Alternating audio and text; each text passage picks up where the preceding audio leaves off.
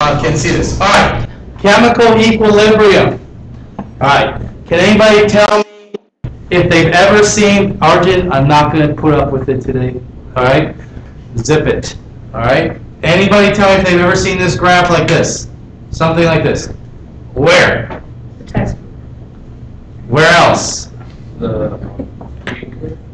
No, where else? Where else? You saw it last year. You saw it last year. Probably not in physics, but definitely in biology. All right? What do you think this could be? Yes, go ahead. Come on, Brian. Is this like ATP and um, like energy used in the body? Uh, maybe not. All right. Uh, no. We could try again. Where else have we seen something like this? Let's see what happens. So we have this. Here's my here's my normal reaction. See this? This is my normal reaction. This is what it does. All right. That's my normal. That's my normal. Now what we did, we added a catalyst. All right. So we're going to add a catalyst. So here it is. What happens to my reaction? Does it speed up or does it slow down? Oh, it's something in the body. Yes, you're getting warmer. Oh. Yes, you're getting warmer. So let's just make a quick note. The catalyst speeds up the reaction.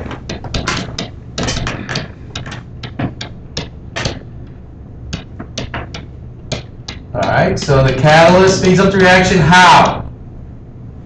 How? What does it do? Yes. It lowers the required activation. All right, by decreasing the activation energy. All right, so by decreasing the activation energy. All right, so we decrease the activation energy, and when we did that, imagine if you're a reaction and you have a massive ball. Who's the guy that carries the ball up the hill? Who pushes it up the hill the whole time? What's his name? What's his name? But Anybody know the Greek mythology? The guy that's always pushing the ball up the hill? All right. Well, imagine you have the ball and you're pushing the ball up the hill. Which hill do you want to go up, the red or the black? Black. Black. All right, so good. So now what in your body creates the black line to occur? What? Chemical. What? Anybody? Oh, ribosome? Mm, mm, not directly. Keep moving down the line. Is it like um, hemoglobin? Something like that. Yeah. Starts with an E. Starts with an E. It's made, they're made from proteins. Enzymes. Enzymes. So enzymes are catalysts. All right, all enzymes are catalysts. And they lower activation energy. So without enzymes in your lungs, you can't process all the stuff you take in fast enough for your body to use it. So all enzymes that you have in your body are catalysts. If you like go out in the sun and you get sunburned, okay?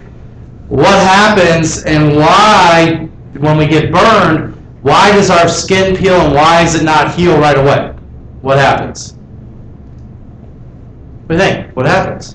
Yeah? Does the sunburn damage the sunburn damages and mutates your enzymes and your DNA at that point until you replicate more and create new enzymes. So the entire time your face or your body gets damaged or is healing, your DNA gets damaged. UV radiation is a mutagen. You know what a mutagen is? Something that mutates your DNA. Something like cigarette smoke, UV radiation, UV light, all those things mutate your DNA. And until it's fixed, your body can't replenish and fix your sunburn, your peeling skin, all that stuff. It tries to, but it got mutated. All right. So when you have high, when you have a mutagen, uh, change in pH level, uh, change in temperature, concentration, those all impact enzymes.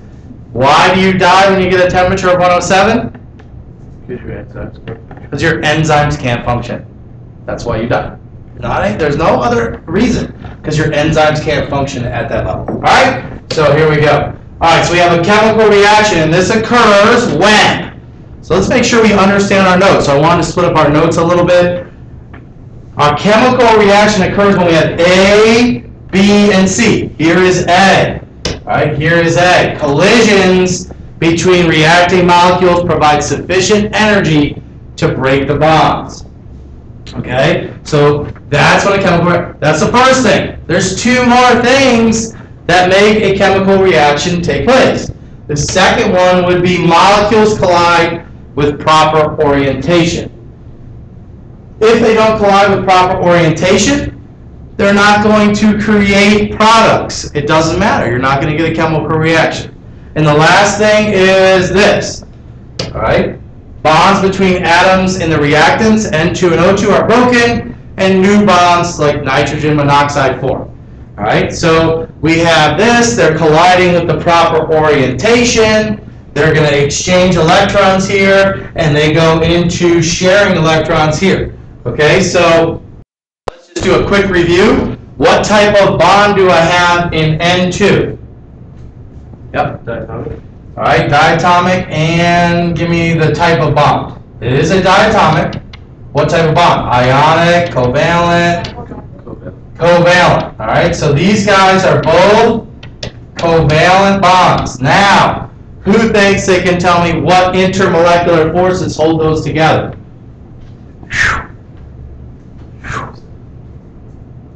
Yeah. Not dipole, dipole. The very, the weakest of the weakest. Dispersion, all right? So these are dispersion. And then on the other side, you can tell me in a second, Noonan. So we have dispersion forces holding those together. What type of bond holds together NO?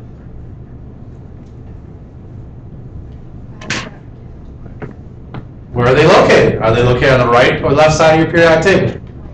Is anything on the left side of the periodic table?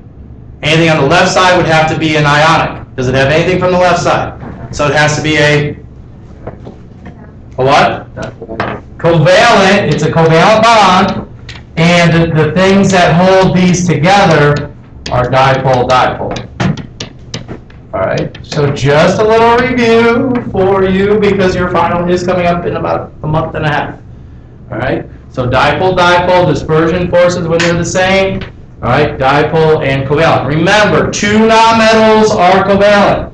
Two non-metals are covalent. Okay? If you have any metal, it's going to be ionic. All right? All right, next. So there we go, got a little explosion there. A chemical reaction does not take place. A, if collisions between reacting molecules do not have sufficient energy to break the bond. How can you increase the energy? How can you increase the energy? Yes? Temperature. Anything else? Add more of the reactants. Very good. Or products. Molecules are not properly aligned. And this is what it looks like. All right. So we have a couple examples there for you, you to take a look at. Collisions do not form products if we have insufficient energy or wrong orientation. All right, at this point, nothing could happen. They're just, we just showed you on the first slide that they need to be lined up exactly. And when they collide, they're just going to bounce off of each other. So let's talk about that. When we're talking about equilibrium, we're talking about all molecules at what state of matter? Have to be in what state of matter? In what? Not, well, same, but same as in what same? Which one is it?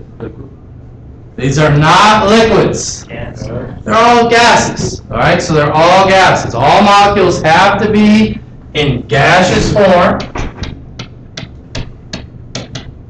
to reach or be in equilibrium. All right, so anytime we're talking about this, we're talking about gases.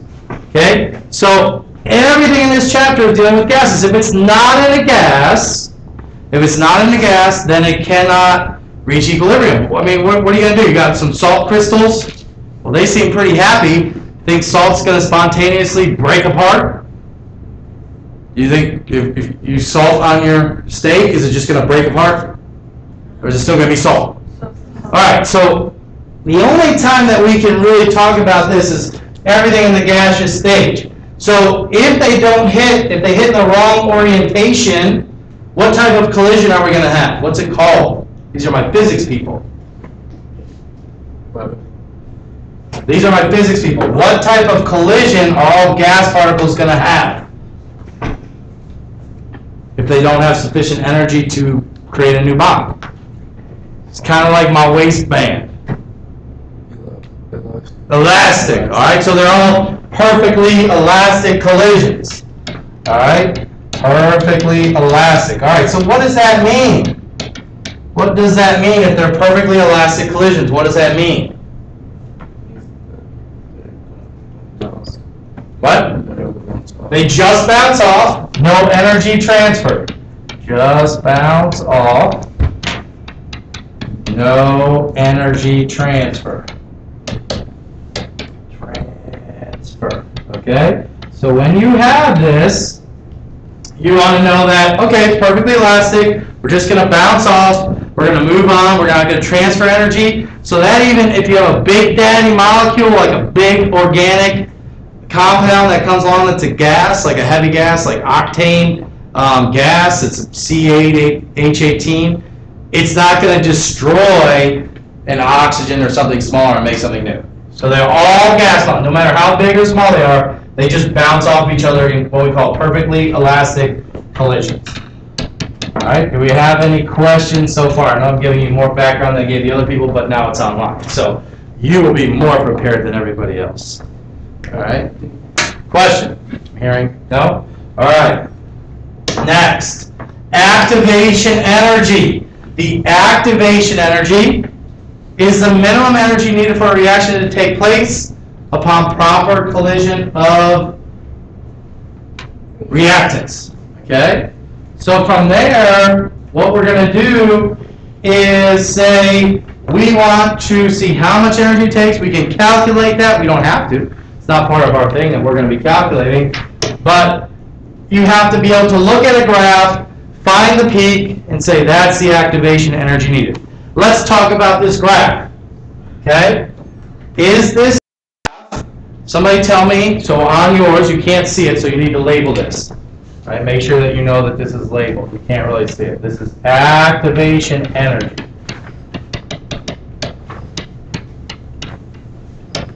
All right, so that big blue line that I just drew is activation energy. Do the products or reactants have more energy? All right, so take a look. Products in this case have more energy.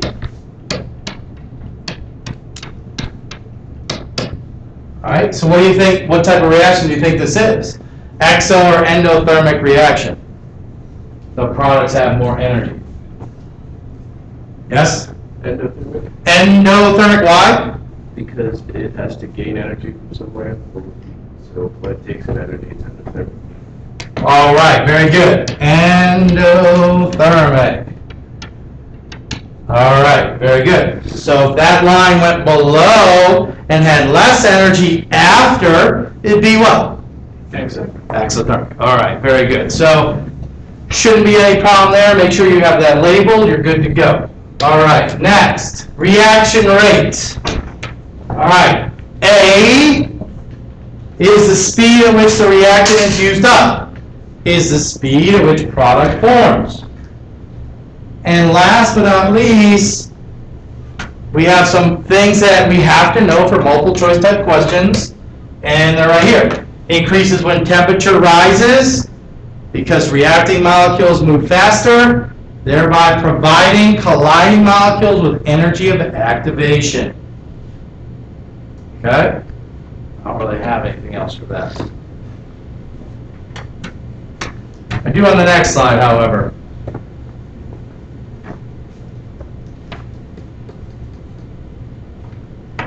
All right. So we have, if we increase the concentration of reactants, so what happens? A, we increase the number of collisions. And B, we increase the reaction rate. and let's take a look at a little picture that, that says that. So we have reactants in the flask. Let's just say we have one uh, reactant and we have one other reactant. There's only one possible collision. All right, so if they don't have sufficient energy and they don't have what?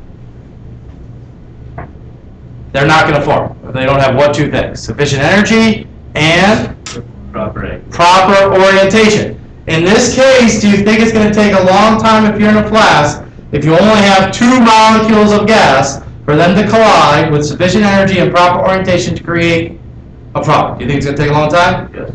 Yes.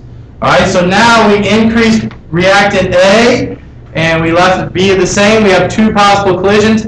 Uh, might increase the rate a little bit now as we start multiplying these out. Okay, now we have four opportunities. So what am I doing here? One times one, two times one, right? That's how I, that's how I get these numbers. All right, so one times one, I can get one. Two times one gives me two. Now I have two, and I have two of these. So when I have to multiply, that's how it increases exponentially. All right, so if you add another one, added another one, added another one, you would definitely be uh, increasing the reaction rate. Okay, and that's kind of an exponential graph. All right. All right, a catalyst. All right, lowers, speeds up the rate of reaction by lowering the energy of activation, and it's never used up. Okay? So here's the deal. All right, let's talk about what we talked about. Okay? Enzymes can be used indefinitely in your body. So let me ask you a question. What makes you die? Because technically, based on your body, you technically can live forever. Yes. The uh, telomeres, The what? the telomeres. What about the telomeres? They uh, keep dividing. Like they of keep losing like a tail. Eventually they like. Okay, so as you're talking about, you're talking about mutation. All right, so as you age, the onset of continually assaulting your body with mutagens, UV radiation, pollutants in the air, cigarette smoke, being at a party with cigarette smoke, cancer sticks. All right, being in an area by the beach for more than an hour. Those are mutagens. They are the things that will then later down the road reprogram your cells and your mitochondria to stop doing work. You can live indefinitely. Enzymes never break down unless they mutate. Your mitochondria will never stop if you feed it correctly. Okay? Once those things stop and they mutate, cease to exist. That's pretty much why you die. It's a it's an accumulation over your life of being exposed to many, many mutagens. All right? Regardless of what disease you hear people get or what they get, it's typically a result of some type of mutagen either gained in their familiar history, their genealogical history, or that they accumulated in their own lifetime. That's it. Somebody accumulated before. Okay? And that's why you have it. So it's going to be in your sperm, your egg, if you pass it on through through genes. If not, um, it's going to be somewhere else that you picked up. All right, not used up. So I think that's pretty cool. You can you can basically live forever.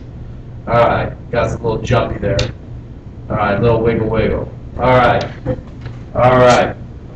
And we have our visitors have arrived. We're just recording. That's fine. So we have plenty of space in the back today. All right. So a quick summary of where we're at, and then we're going to be using our little gadget that we picked up. These guys are the multiple choice type question things that you need to study. Okay? This chart summarizes the past 10 slides that we just covered. All right? Increasing the factor that increased reaction rate. Okay? So, of course, as you've told me, we're going to have more collisions. And how does that how does that change as you add more reactants? How do we what do we say? It's increasing what? We the term we just said. What did I just say? It's increasing what? We did one times two, two times two. Well, yes. Possible collision. All right, but it's increasing how? How's the graph? What's the Oh, graph? exponentially. Exponentially. So this increases exponentially. All right. All right, so it's going to increase exponentially. All right, how is our temperature? All right, so if we increase the temperature, we have more and more collisions. All right, and you can do that at home. All right, you can figure out there's going to be more collisions by just taking a balloon. Now, check this out. You go home and you take a balloon and you put in there some water. Put some water in your balloon. And you take that and you're like sitting by a campfire. You attach that balloon to a stick. It will not burst. You put it over the flame, it will expand because all the energy is going to go to try to create the, the water to boil. So that balloon will not disintegrate, will not burst, but it will expand. And those collisions, we know that we're going to be increasing more collisions with temperature. And the last one is adding a catalyst. And our favorite catalyst is what? What do we know that we use all the time? Enzymes. All right? All right, so we want to have those enzymes, and that lowers the activation energy. All right, so now we have our clicker. All right, now we have our clicker. So let's take a look. We have this guy right here. Let me put the timer on. Put the timer on. All right, so what you're going to do is respond with that. We got 10 seconds to do that. Oops, don't want to do that. All right, go ahead and respond. You should be trying to respond. Let me see if we get responses. One, two, or three. You might have to click your login again, see if that's working. Check your login one more time. What's that? Have no responses yet. Try your login. Hit your login so it flashes. Take your finger off. Flash, nothing on that. All right. Now go ahead and let me see what we got here. All right. Oh, Let's try one more time. Let's try that one more time. Here we go. Hold on one second. All right, we have hundred percent. Let me go to the next one real quick. All right, so did you put increases? I know you didn't, but we'll see, we'll see if the next one works. How many people put increases? All right, that's good. Let's see if the next one works. Let's try on the next one. All right, so here we go. All right, so polling is now open. You should be able to start responding now. All right, so we have, all right, we got some people responding. That's good. Now we're working. Now we're working. 14, there are what? We said 17? Couple 15, 16, 17. All right. Very good. So let's see what we got. So state the effect of removing one of the reactants. Let's see what we got. All right. Ah, lovely, lovely, lovely. Let's see what we got here. Let's see if we can get this still to function. Sorry, guys.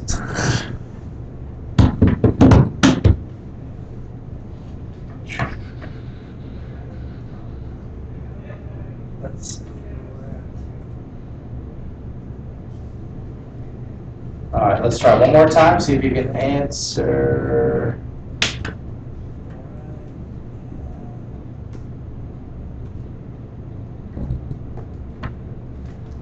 Hold on, hold on, hold on. I'm not now in TurningPoint.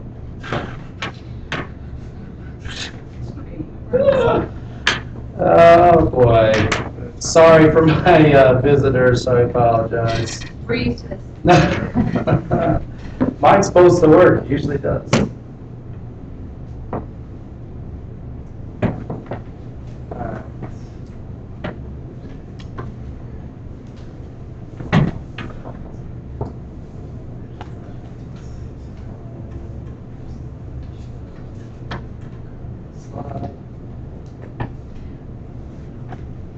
We log in again?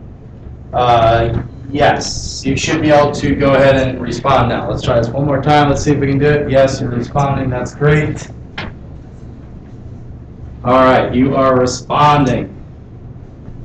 15, 16, 15, where's 16?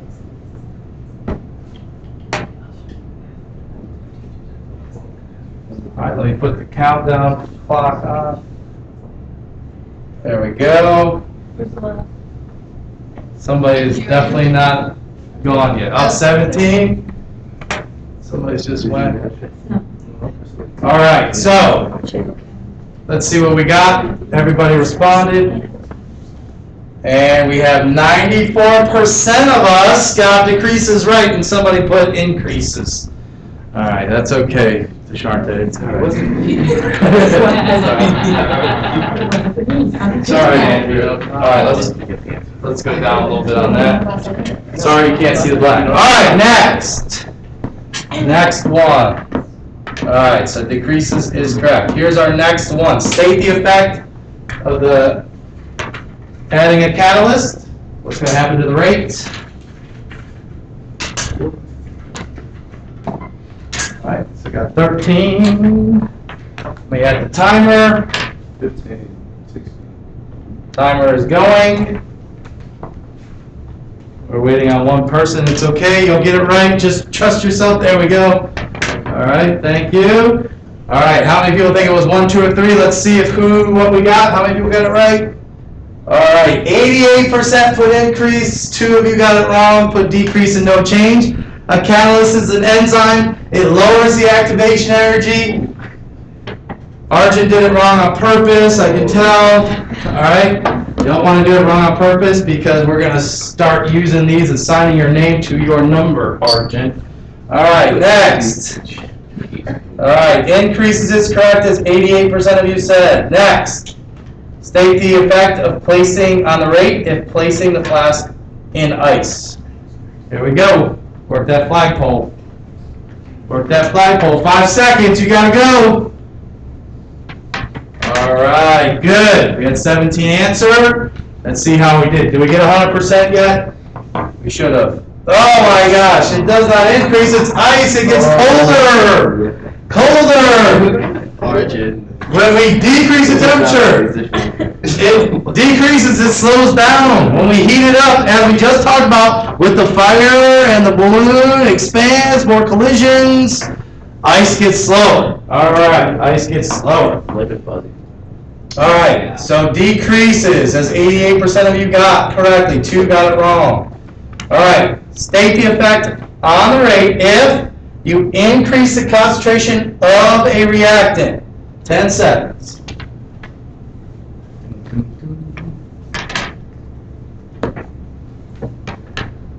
Two left, all right, you got them in.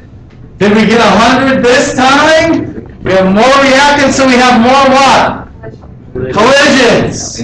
So, it increases, there is a change. There is a change. It increases. Oh my I told Ashante, I'm like, I put anything, I. All right. All right, now we have this reaction, okay? Indicate the effect of raising temperature on this reaction. 2CO plus O2 makes carbon dioxide. Does it increase, decrease, or does it have no change? 10 seconds. Who likes TurningPoint? Yeah. Can we get 100%? What do you think? I'm hoping so. We just went over it again for the third time. Let's see what we got. Yes! Yes! Yes. Increases, yes. Thank you for. All right, so it increases. That All right, next. All right, indicate the effect of removing O2 in the below reaction. Okay, so I'm going to remove a reactant, 10 seconds.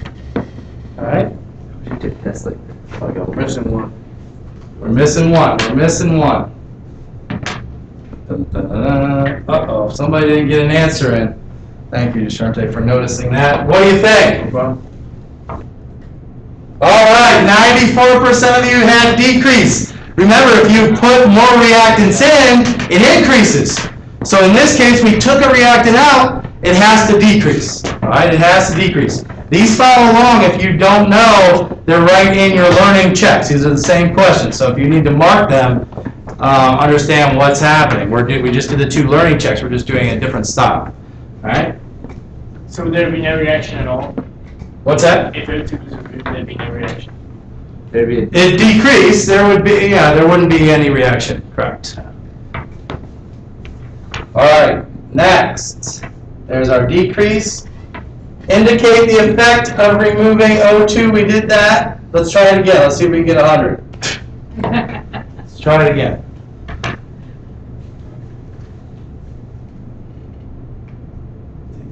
Sixteen, someplace is not working. Oh, there it is. Yes, it is. Who was last? I guess it was me. That's all right. All right, we still have somebody putting increase.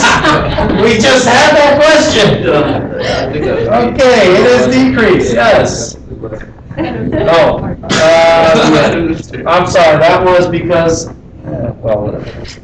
All right, thirteen two. What? Give me one second, it is decrease, you're right. Give me one second, I need to, uh, stop the rec- recording. All right, check with your neighbor, make sure your thing is working, please. All right.